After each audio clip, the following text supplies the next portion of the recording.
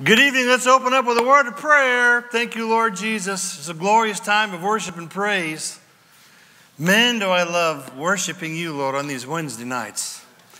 I'm not sure if it's the uh, beautiful Christmas lights that are enhancing the mood, but Lord, I want to thank you for Wednesdays especially. A lot of times I'm thinking, oh, Wednesday, you know. I just want to get to my sofa. I want to get to my clicker. I want to get to the. Um, solitude perhaps of my social media, whatever it might be. Lord, I want to thank you that you know that about us and you know that about me. I pray, Father, that tonight, Lord, by your grace, maybe we'll have something that might be helpful for this upcoming year. I pray by your grace, Lord. You be the Holy, Holy Spirit, you're the real teacher. Please be with us tonight. In Jesus' name, and everybody said, Amen. Um, Second Corinthians chapter 6, please. Second Corinthians chapter 6. What's he going to talk about now? Um, I had sort of thought about a couple of uh, end times Bible prophecy updates. And then the thought occurred to me you guys know most of it. You really do. What was it, uh, 20 years ago, for some of us, maybe longer, man, we would, we would just eat this stuff up with a spoon. Did you know that one day soon there will be a checkless, cashless society? You'll be able to have some sort of a device that automatically debits your account and credits the account of the store you're buying from. Oh my, like Home Alone, we grabbed our cheeks. We talked about, did you know about the. Uh, the um, nations aligning themselves according to Ezekiel 38 and 39. Wow. Did you know that somehow the entire globalist movement would reach such a kind of a consummate place that you would probably be somewhere that you could get a passport, maybe, maybe not by, by the edict of somebody else. In fact, if you don't get this COVID vaccine soon, you can't get a passport, maybe. You can't get on a bus, perhaps. You can't go into a restaurant. I wonder if that day's coming. All that said, I thought to myself, we've covered a lot over the years. Many of you are excellent students. So, what I wanted to do tonight is say, you know what, I'm going to back up from that a little bit. And how many of you are quite satisfied that 2020 is almost completely in the rearview mirror? My, oh my, what a challenging time this has been. What do you think 2021 is going to be like? Answer? I don't know. But I want to give you something tonight. We, uh, we're going to take a little break out of Jeremiah, and um, this touched my heart. I hope it will speak to you as well. Are you in Second Corinthians? Look down there to verse number, Second Corinthians chapter 6. Look down there to verse 11.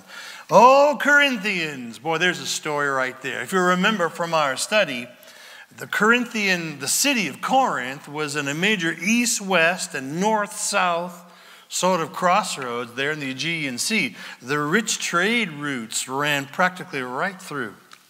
A seafaring city, all manner of sin and gluttony, and well, basically everything you can catch on cable television is right there. And I was thinking, you know, Paul had something good to say for them. And so for 2021, I hope to, hope to basically remind myself and us all no matter what's coming down the road, remember this. 2 Corinthians chapter 6, verse 11. O Corinthians, O harvest, we have spoken openly to you. Our heart is wide open. You are not restricted by us, but you are restricted by your own affections, meaning We've proved that we didn't hold back anything from you. Remember that? Yet you guys are holding back your love from us. Why? Because you're not really trusting our teaching. If you remember, there are other way more flashier um, teachers that were swinging through the whole area. Paul, uh, by some estimations, and some, if you were to go to some, um, some descriptions, there are some descriptions of the Apostle Paul that have survived. And they describe him as a short fella, balding profusely, with a large hook nose. He wasn't really great to look at, it might seem. And there was Apollos, and there was all these other quite gifted orators.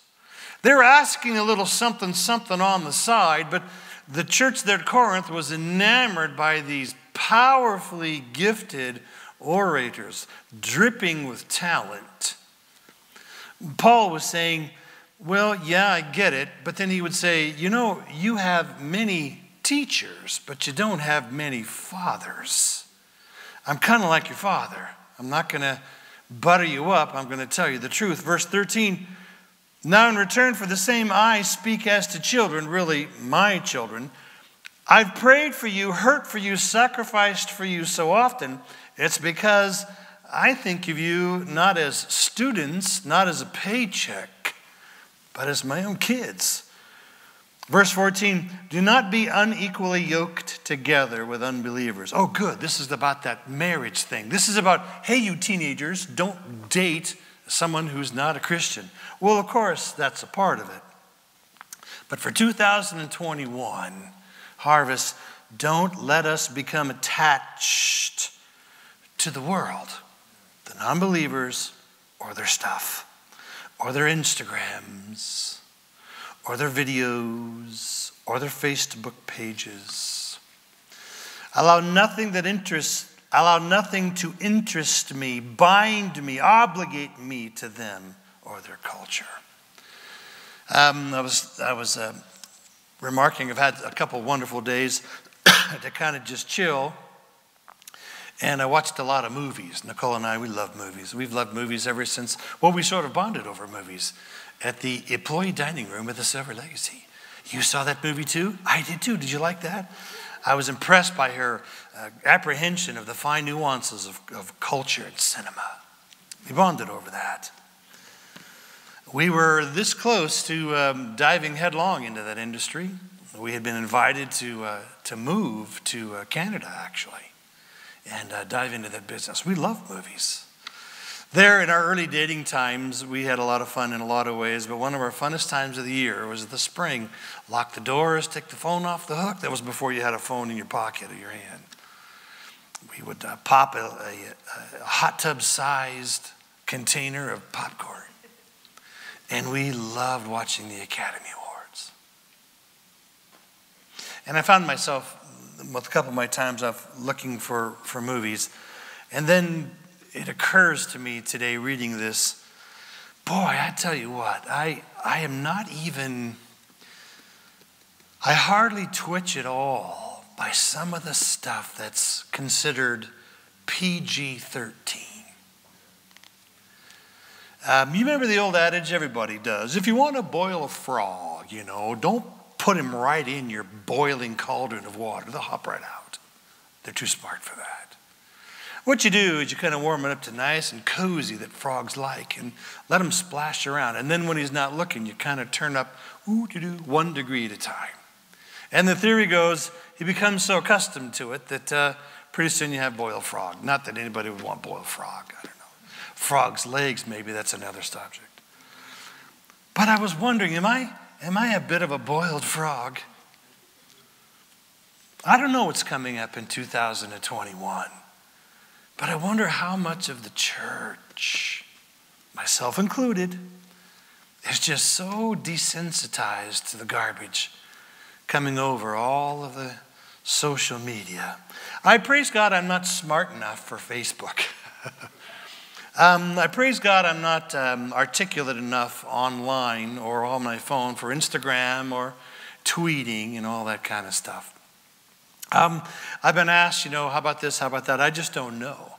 And I find that I'm losing touch with some people that, because that's kind of the, the new medium of exchange. But you know what else pours over those sites?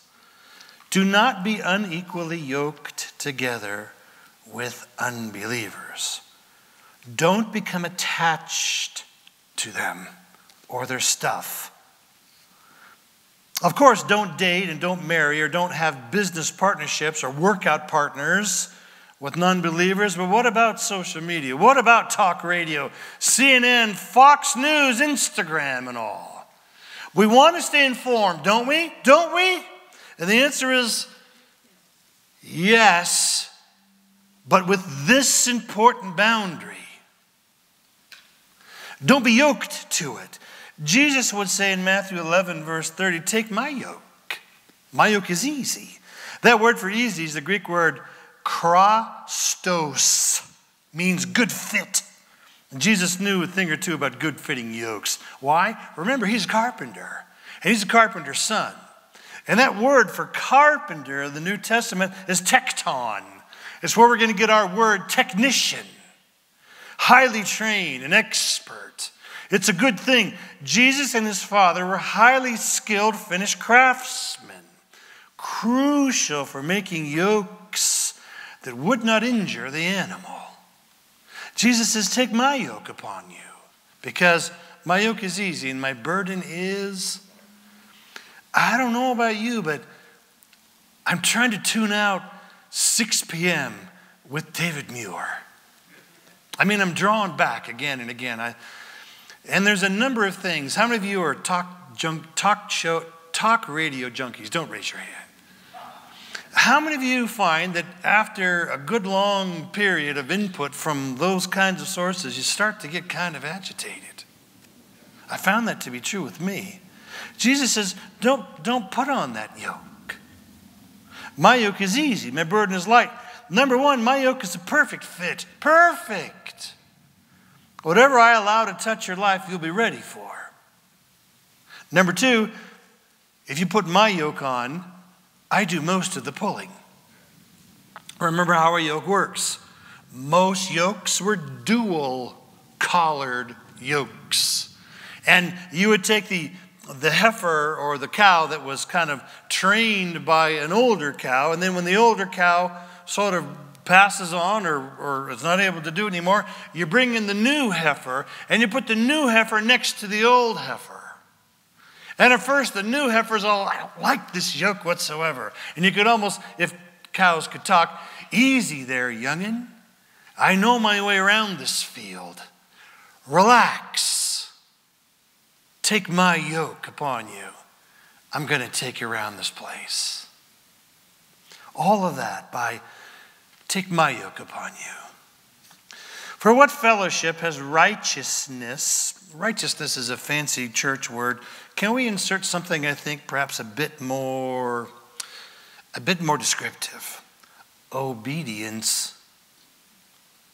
For what fellowship is someone walking in obedience to the word with someone who isn't? Lawlessness. And what communion has light, if you will, truth, understanding, and grasp? with darkness, an idea of delusion. Let me, let me rephrase. What fellowship does obedience have with people who are disobedient, whether they're Christians or not? And what communion has truth with delusion? Verse 15, and what accord has Christ, the true God, with Belial? Remember who Jesus is. He walked on water, he healed the sick, cast out demons. Why hang out with him and versus Belial, who was all about idols? Sexual saturation, but no substance. Or what part has a believer with an unbeliever? What's the, what's the overarching answer to all this rhetorical question? None. Then why do we invite them in so often through our media? I don't know what's going to happen in 2021, but I think if anybody needs to have an answer, it's us. Because I think it's going to come apart more and more out there. I really do. I don't know how this vaccine is going to work. I really don't. But I don't have to tell you all of the conspiracy theories that are mounting uh, with gaining momentum. And I don't have to tell you the hot button that masks are. I was in the uh, ER today.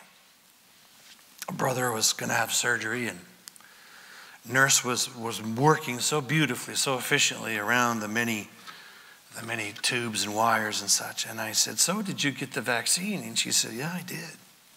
I said, Well, that's good. I said, Is everyone getting it? And she kind of sighed. She said, Not everyone. Now, I'm not saying get the vaccine. I'm not saying don't get the vaccine.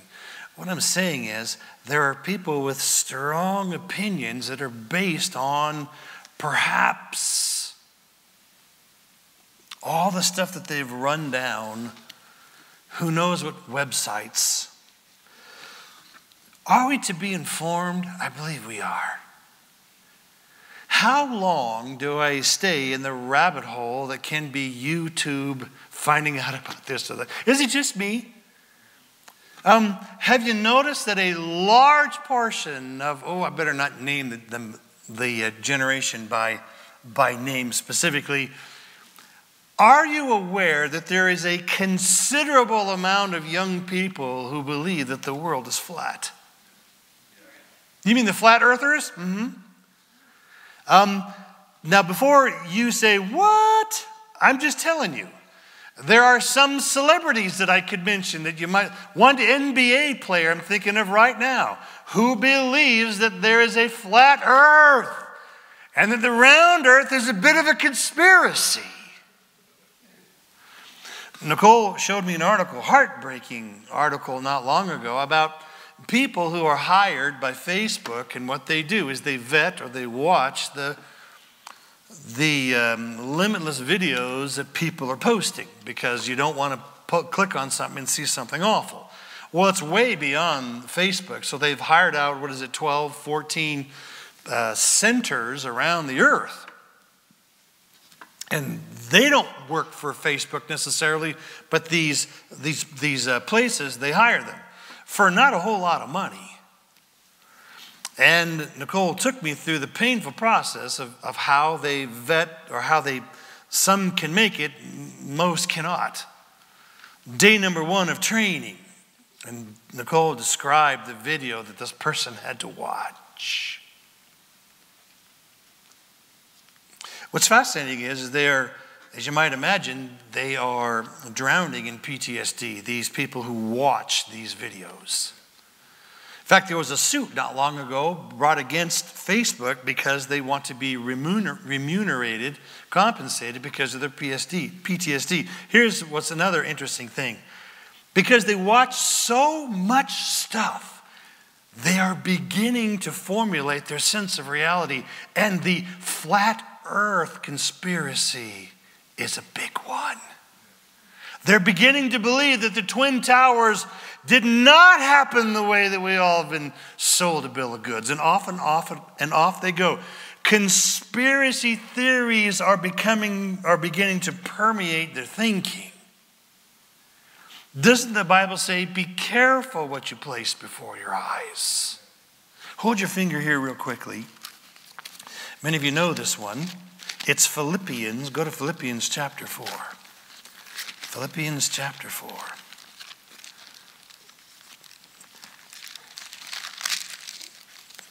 Ephesians, Galatians. Come on, Steve, you can find it, buddy. There you go.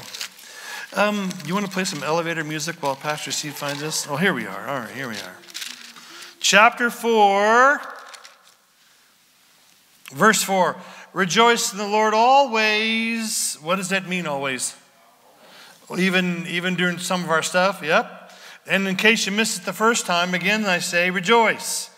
Let your gentleness be known to all men. The Lord is at hand.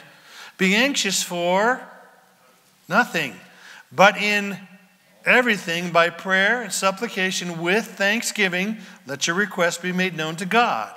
When you do that on a consistent basis, look, and then the peace of God, which surpasses all understanding, will guard your hearts and minds through Christ Jesus. Finally, verse 8. Finally, harvest. Whatever things are true, you might want to highlight that. Whatever things are noble, perhaps highlight that.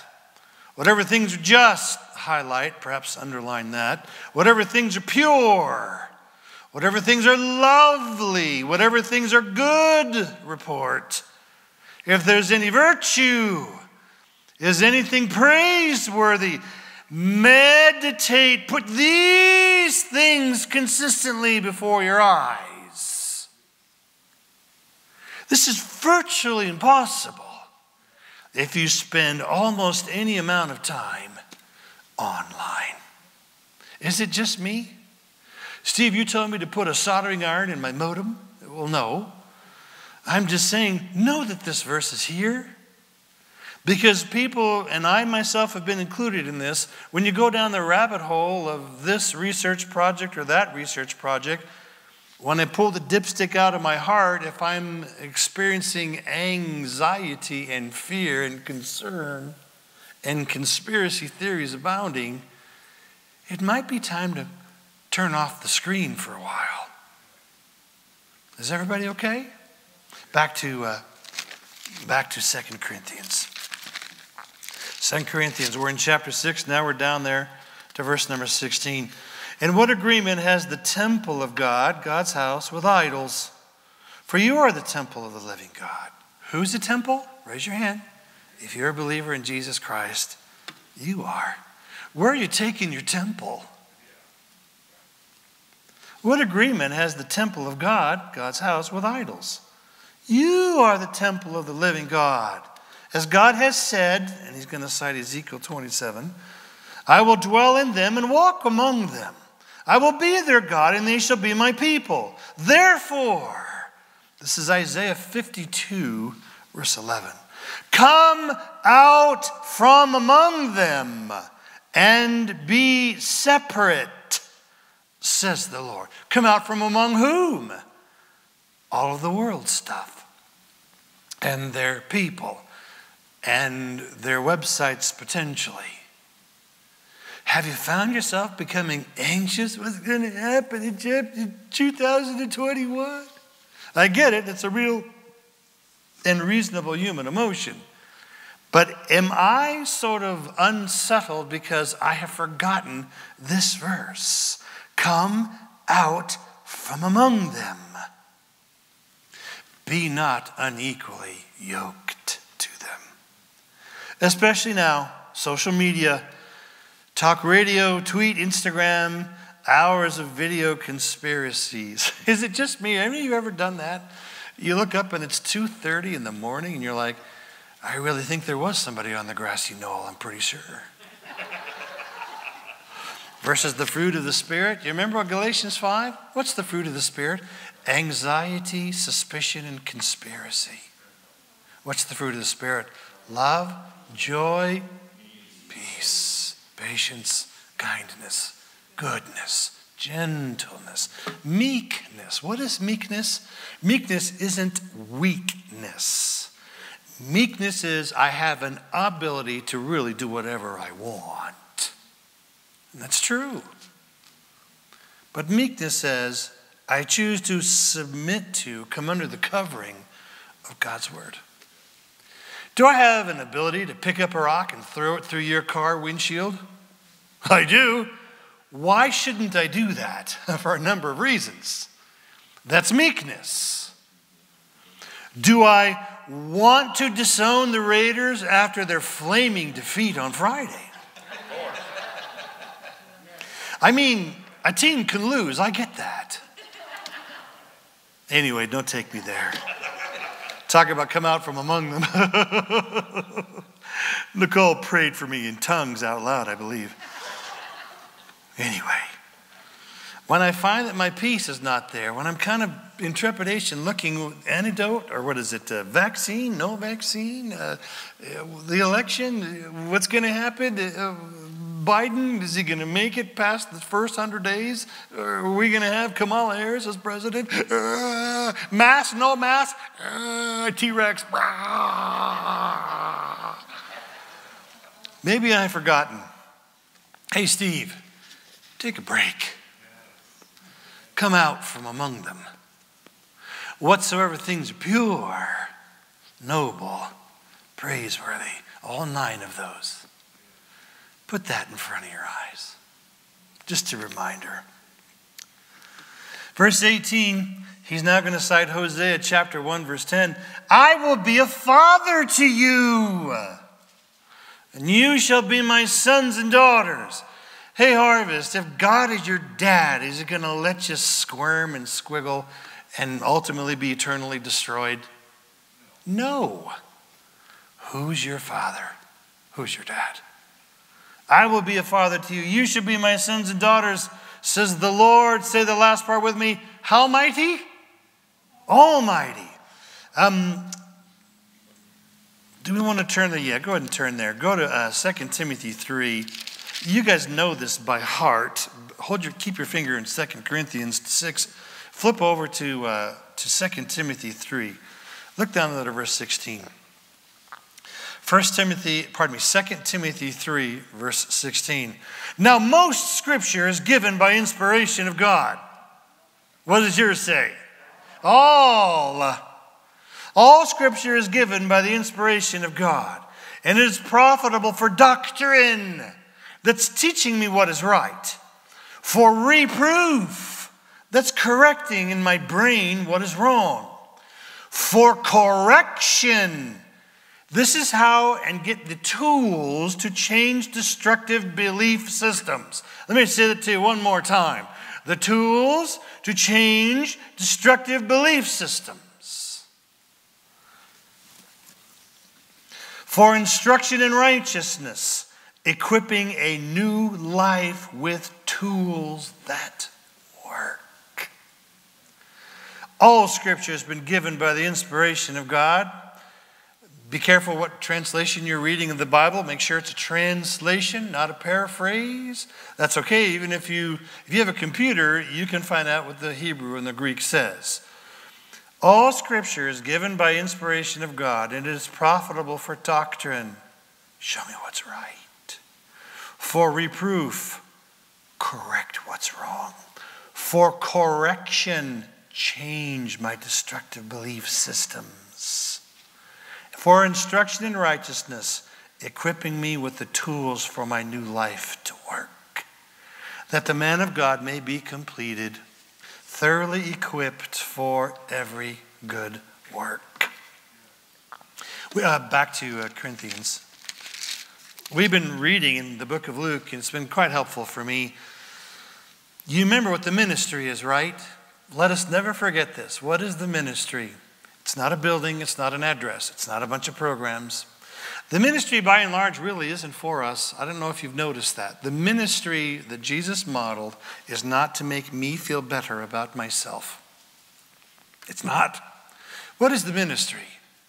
The blind see, the deaf hear, the lame or paralyzed are walking, the dead are raising. Oh, and we're recognizing when the demonic is present. Please understand that the demonic knows humans way better than you will ever understand the demonic.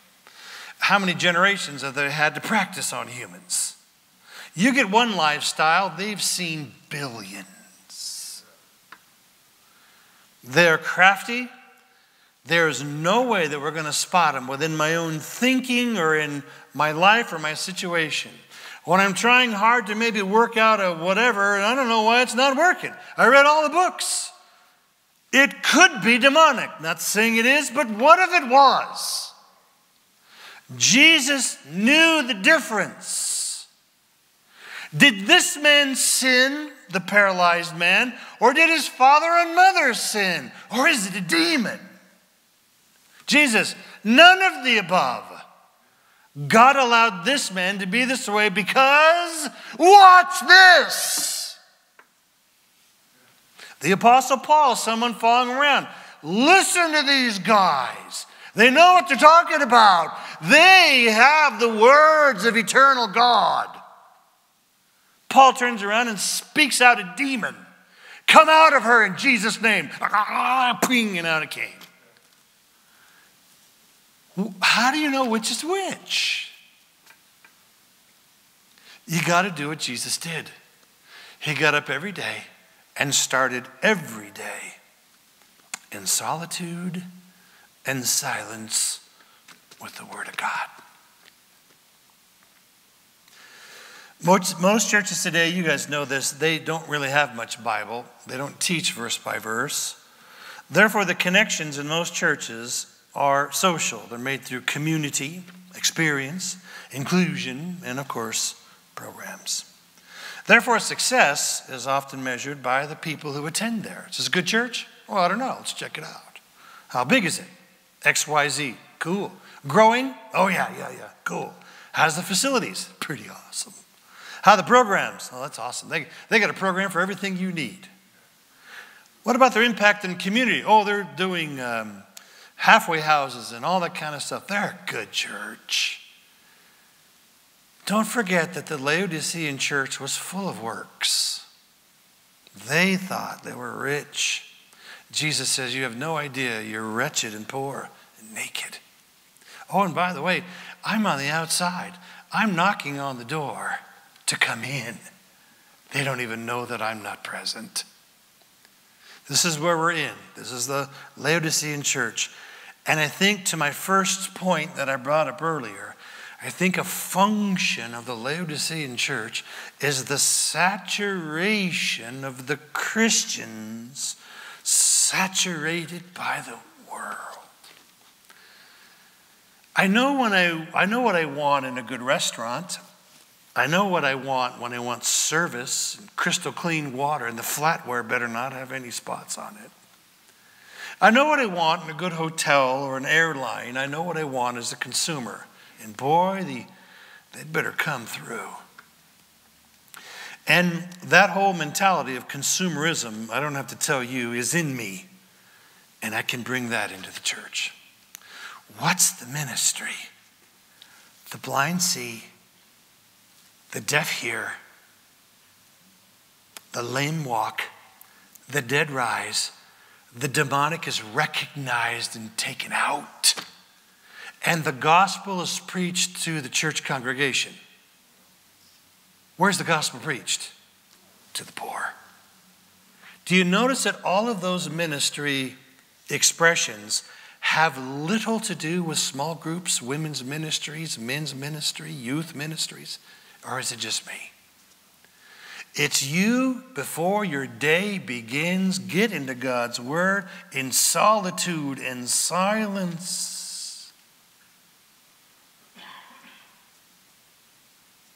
And hear His voice. His voice may be pointed at you. You know, you got a grudge. No, I don't. Yeah, you do. No, I don't. Yeah, you kind of do. No, I don't. Look at your heartbeat. What about my heartbeat? Why'd your blood pressure going up when you think about that person? Wow. Did you know that a root of bitterness spoils and defiles many?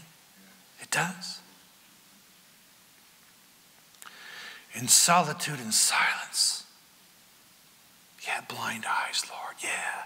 Let me see some blind eyed people. I'll open them up for them. God says, You have blind eyes. What do you mean? I don't have to tell you, your wife already did.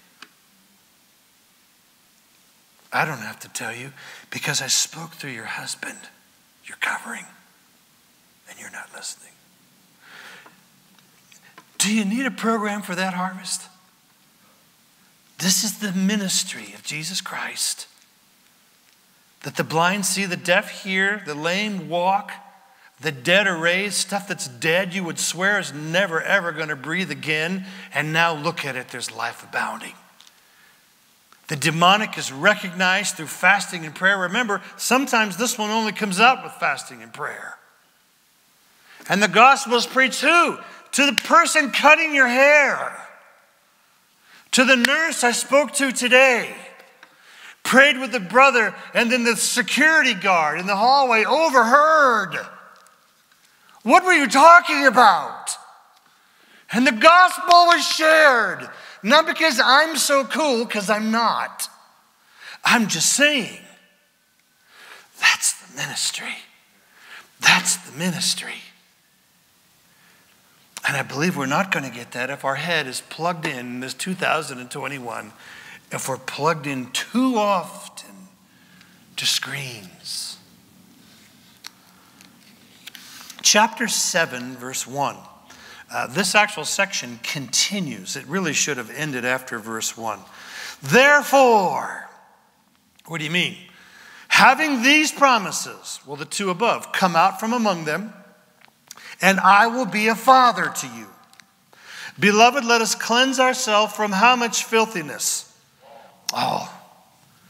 And I'm telling you, I am as guilty as anyone watching if it's PG 13, you know, maybe there's the odd R rated show, you know, because after all, that's where my action star really shines.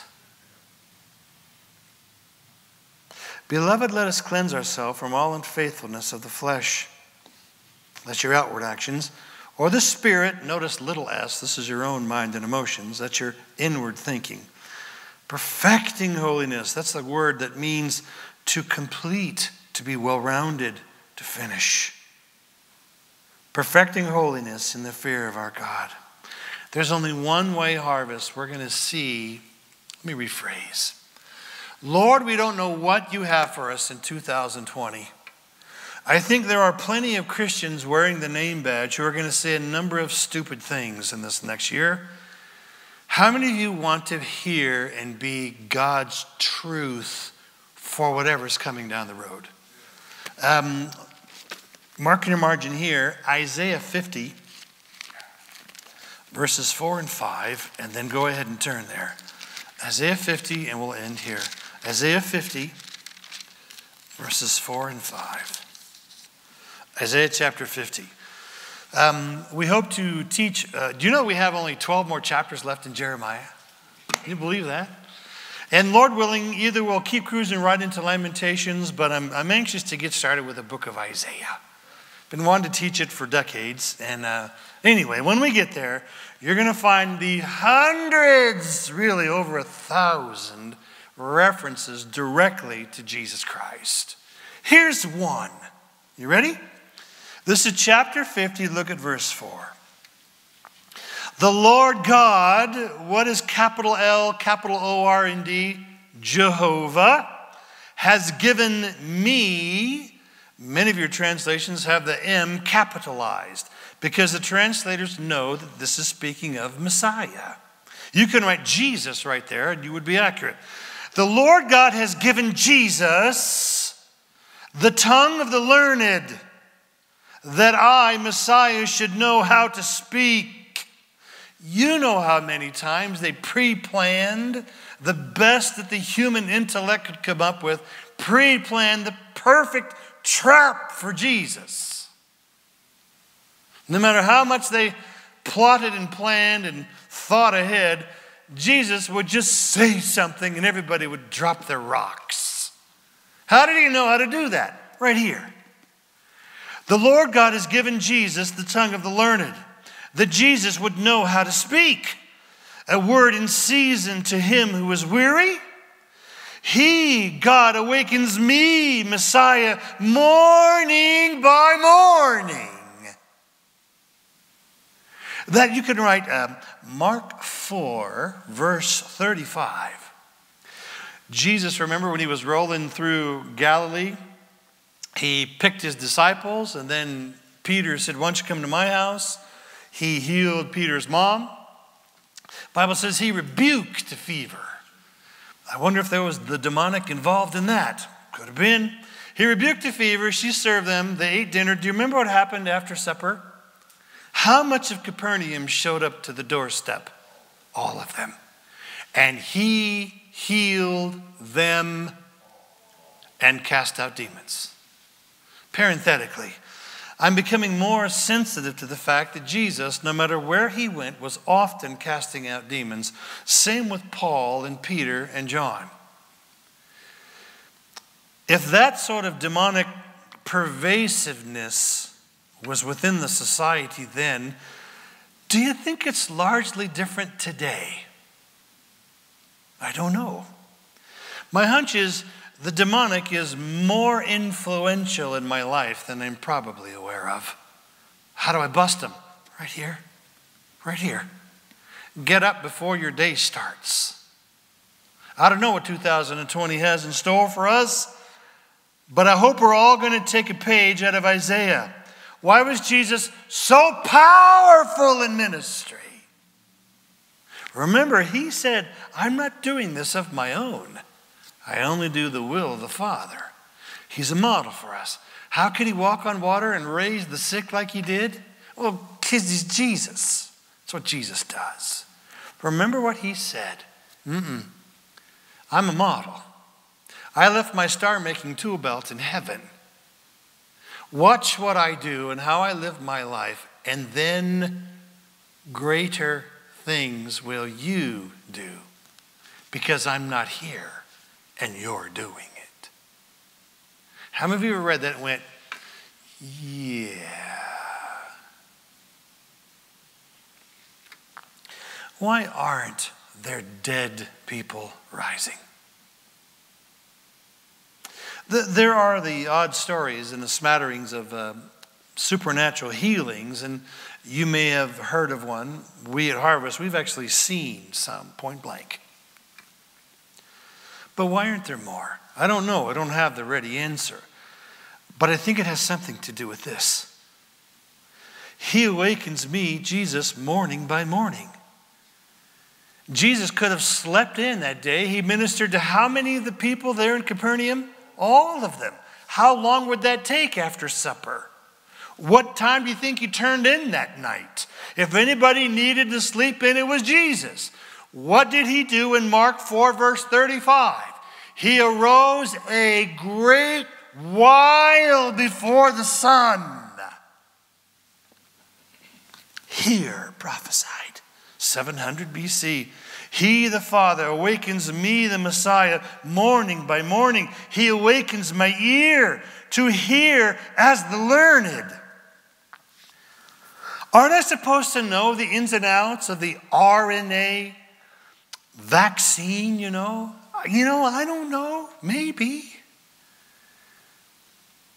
May the Lord lead us to know what we are to know and to trust Him with the rest.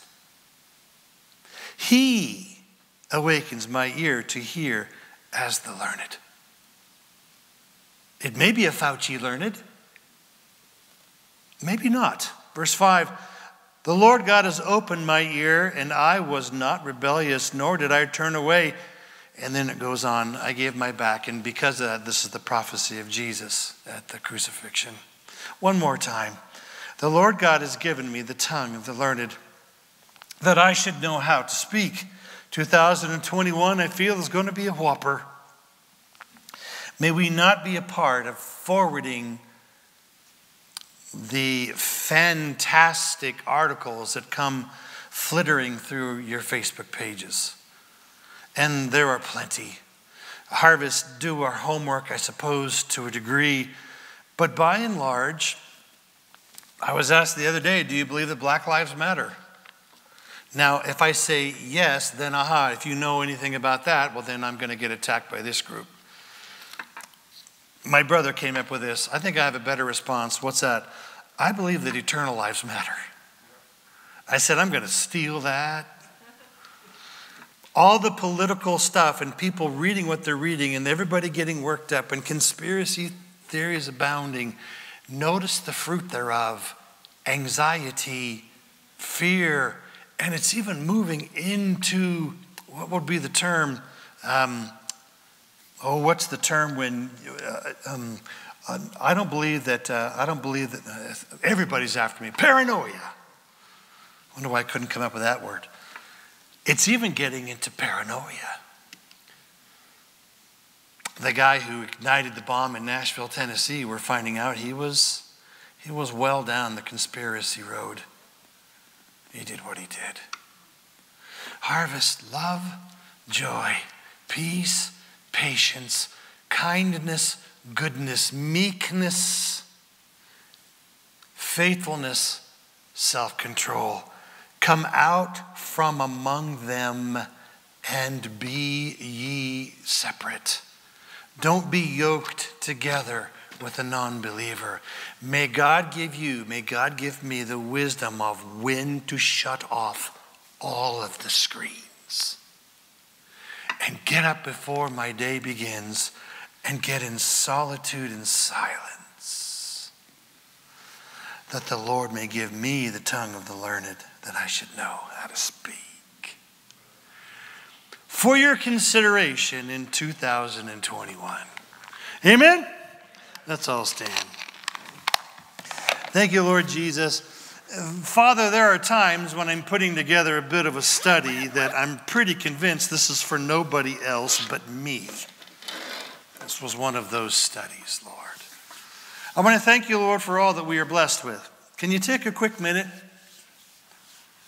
If you've noticed at any time your anxiety level ratcheting up, your blood pressure pounding in your temples, if you've noticed in any way a sense of anxiety and even a fear, a mounting fear, would you remember our study tonight? Maybe it's because you've not been meditating on whatsoever is pure whatsoever is trustworthy, whatsoever is of a good report. Lord, I pray that we at Harvest are more consumed, Lord, with learning your Bible, that eternal lives really do matter, and that however much time you have left for us here on planet Earth, may you find this cracked pot, this vessel doing his very and level best, Lord, to be filled with your spirit, to be a worshiper of spirit and truth, and to keep my eyes focused outward from 350 South Rock Boulevard and be sensitive to who I might be passing on the sidewalk, who I might be brushing past at the deli. I pray in Jesus' name, Lord, may I have the sensitivity that when you speak, so will I.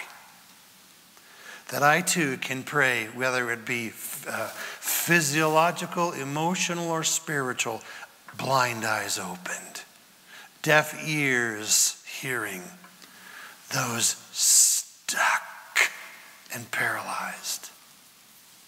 Words of life. That I, Lord, may be able to discern the demonic more so than I ever have before. One of their times I need to just keep moving because this particular person is so locked up in demonic oppression. They're actually planted there to waste my time.